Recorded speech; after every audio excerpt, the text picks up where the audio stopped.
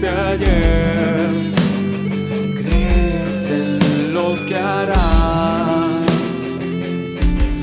¿Acaso sabes?